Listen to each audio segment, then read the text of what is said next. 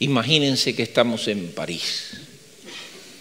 ¿Mm? La Torre Eiffel está ahí en la garita Otay. Manténganse concentrados así. Y ahí vamos a escuchar ahora la música francesa.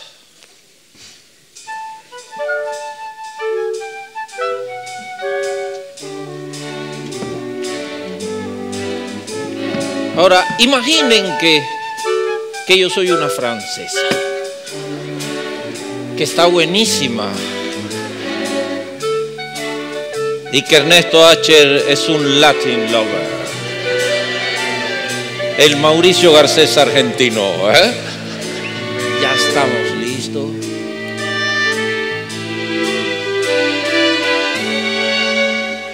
Lo conocí en París en una tarde de verano, paseaba por la Torre Eiffel.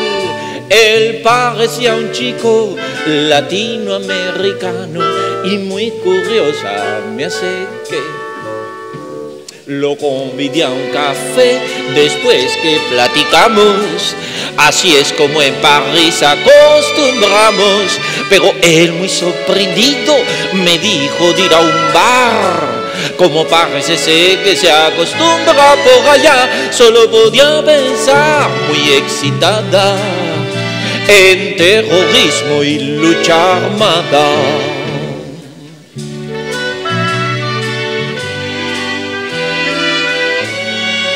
Las copas de champán fueron las que nos acercaron al filo del anochecer.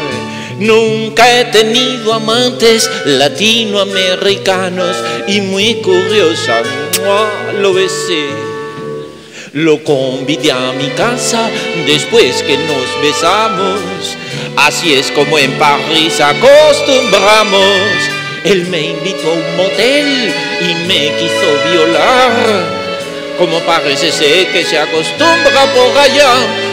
Me dije, uh, la, la, hace profundo mi encuentro con el tercer mundo.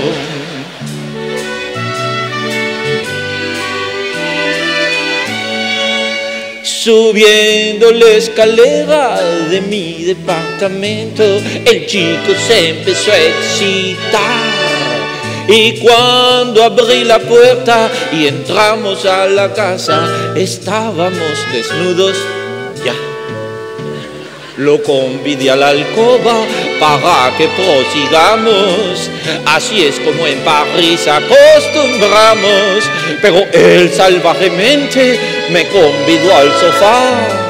Como parece ser que se acostumbra por allá, nos fuimos al sofá con nuestro rollo. Y que viva el subdesarrollo.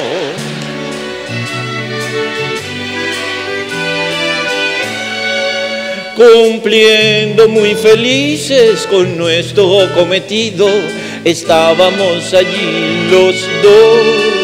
Y entonces de repente la puerta mi marido abrió y así nos sorprendió. Eh, Yo quise presentarlos mientras nos levantamos, así es como en París acostumbramos. Y el chico de repente saltó por la ventana. Parece que es costumbre latinoamericana. Y nunca entenderé por qué lo hizo. Si es que yo vivo, si es que yo vivo en un décimo piso.